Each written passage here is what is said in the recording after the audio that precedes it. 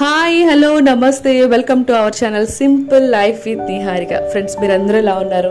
నేను బాగానే ఉన్నారు మీరందరూ ఎలా ఉన్నారో కింద కామెంట్ సెక్షన్లో నాతో షేర్ చేసుకోండి.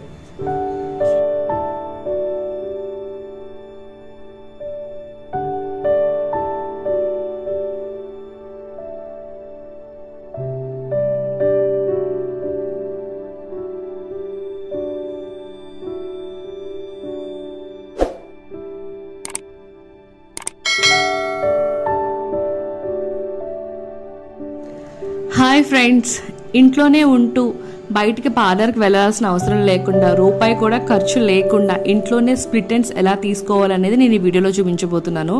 సో నేను రెగ్యులర్గా పార్లర్ అయితే వెళ్ళండి స్ప్లిట్ ఎండ్స్ తీసుకోవడం కోసం ఇంట్లోనే చేసుకుంటాను. బట్ నేను మీకు వీడియో చేయడం కోసం గత కొంతకాలంగా స్ప్లిట్ ఎండ్స్ అనేవి కట్ చేయకుండా ఉంచేసాను అనమాట సో ఈ వీడియో కోసం. సో ఇప్పుడైతే నేను స్ప్లిట్ ఎండ్స్ ఎలా కట్ చేసుకోబోతున్నానో మీకు వివరంగా చెప్తాను. సో ఫస్ట్ అయితే ఇలాంటి బ్రెజిల్ టైప్ అంటే ఉంటే కనుక మీరు ఇలాంటి బ్రెజిల్ టైప్ డీటాంగిల్ చేసుకోవడానికి బాగా ఉపయోగపడుతుంది. ఇటువంటి బ్రష్ టైప్ కోమ్ తీసుకోండి. సో ఫుల్ డీటాంగిల్ తీసుకో తీసేసేయండి. ఇటువంటి బ్రాడ్ బ్రిజిల్స్ ఉన్న బ్రష్ ఎందుకు అంటే మనకి చిన్న బ్రిజిల్స్ ఉన్న బ్రష్ అయితే కనుక మనకి అస్సలు సరిగ్గా రాదనమాట. ఎక్కువ జుట్టు ఊడిపోయే ప్రమాదం ఉంది. సో అందువల్ల ఇలాంటి పెద్ద పళ్ళ దువ్వాని అంటారు కదా సో అటువంటివి తీసుకుంటే మనకి ఏంటంటే చిక్కు తీయడం చాలా సులభంగా వచ్చేస్తుంది. సో చూస్తున్నారా ఎంత చక్కగా వచ్చేస్తుందో? నేను ఎప్పుడు డిటాంగిల్ చేయడానికి ఇదే బ్రష్ వాడతానండి. లేదా బాగా బ్రాడ్గా ఉన్నది బ్రిజిల్స్ ఉన్నది తీసుకుంటాను. సో ఫస్ట్ అయితే చికెన్ తీసేసుకున్నాను. తర్వాత మధ్య పాపిడి అంటారు కదా మనం చిన్నప్పుడు స్కూల్కి వెళ్ళేటప్పుడు తీసుకుంటూ ఉంటాం రెండు జడలు వేసుకోవడానికి. ఇప్పటికి కూడా చాలామంది ఒంటి జడ వేసుకున్నా సరే పాపిడి తీసుకుని వేసుకుంటారు. సో పాపిడి చాలామంది మస్ట్ అండ్ షుడ్గా ఫాలో అవుతూ ఉంటారు. సో ఆ విధంగా మధ్య పాపిడి చివరి వరకు తీసుకుని మన హెయిర్ని టూ రెండు విభాగాలుగా విభజించండి. సో ఆ విభజించిన జుట్టు కూడా మీరు డీటాంగిల్ చేసుకోండి. అంటే చిక్కు లేకుండా దువ్వుకోండి.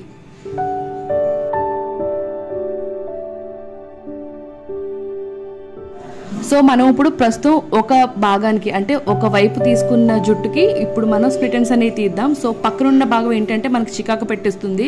సో కలిసిపోతుంది మళ్ళీ. ఈ ఇటువంటి ఈ పక్కనున్న భాగంలో కలిసిపోతుంది కాబట్టి దాన్ని ముడి వేసేసుకుందాం. సో దాని దానివల్ల ఏంటంటే మనకు అటువైపు నుంచి హెయిర్ ఇటువైపు రాకుండా ఉంటుంది.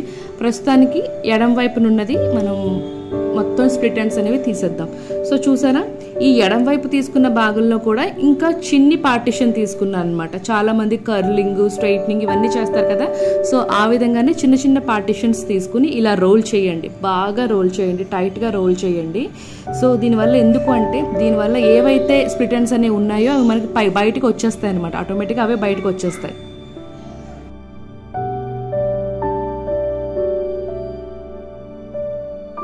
సో టైట్గా బాగా మెలిపెడితే ఏంటంటే స్ప్లిటెన్స్ అనేవి మనకి జుట్టులో కలవండి. అవి బయటికి వచ్చేస్తాయి అనమాట సో మనం కూడా వేలుతో ఒకసారి కిందకి పైకి కింద నుంచి పైకి అలా అంటూ ఉంటే చూసారా?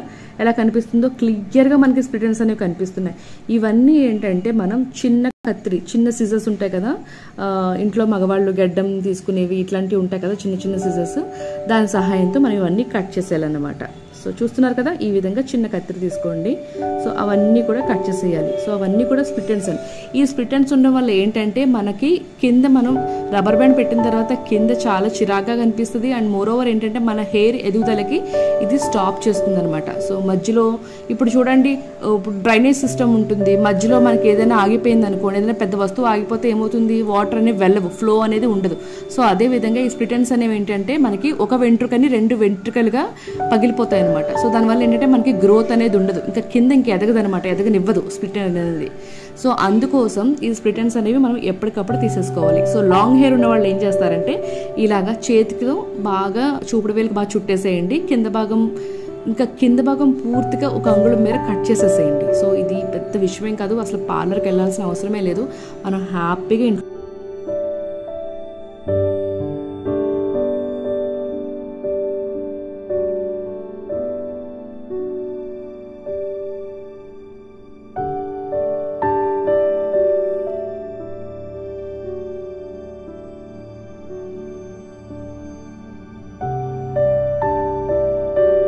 సో ఇదే విధంగా మొత్తం హెయిర్ అంతా చేసేస్తున్నాను. సో మళ్ళీ నేను నెక్స్ట్ పార్టిషన్ ఏదైతే మనం కుడివైపున పెట్టుకున్న హెయిర్ ఉందో అది కూడా చేసినప్పుడు మీకు చూపిస్తాను. సో ఇదే పాలసీ అండి మొత్తం అంతా కూడా హెయిర్కి. జస్ట్ చిన్న చిన్న ఫస్ట్ జడని రెండు పార్టిషన్స్గా తీయడం దాంట్లోంచి సెమీ పార్టిషన్స్ తీయడం. సో అంతే. బాగా రోల్ చేయడం కింద నుంచి పైనకి పైనుంచి కిందకి ఒకసారి వ్రాప్ చేయడం వేళ్ళతో ఏవైతే బయటకి ఎంటుకలు వచ్చేసాయో అంటే మిగిలిన వాటితో కలవకుండా రోల్ ఆన్ అవ్వలేదో ఏవైతే బయటకి చొచ్చుకుని వచ్చాయో అవన్నీ కట్ చేసేయాలన్నమాట. స్ప్రిటన్స్ అనేవి హ్యాపీగా తీసేసేయచ్చు. అలాగే కింద అంటే కింద మన రబ్బర్ బ్యాండ్ పెట్టి కింద ఉంటుంది కదా అక్కడ మాత్రం ఒక అంగుళం అరంగుళం మేర కట్ చేసేయండి. సో అదంతా డ్యామేజ్డ్ హెయిర్ అనమాట మనకి కలర్ కూడా కొంచెం వేరేగా ఉంటుంది. బ్లాక్ హెయిర్లో అనిపించదు కొంచెం రాగి హెయిర్ అట్లా అనిపిస్తూ ఉంటుంది. సో నూనె పెట్టుకునేటప్పుడు కూడా కంపల్సరీ కింద కూడా పెట్టుకుంటే మనకి అలా కనిపించదు అనమాట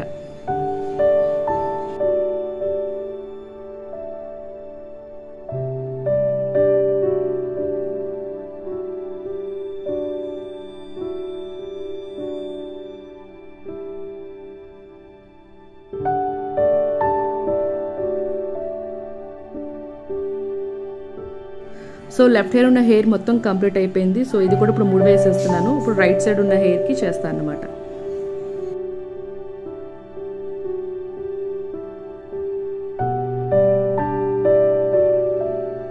సో ఇంట్లోనే పైసా ఖర్చు లేకుండా హ్యాపీగా స్ప్లిటన్స్ అనేవి తీసేసుకోవచ్చు అండి ఈ టిప్ మీరు ఫాలో అవుతారని అనుకుంటున్నాను.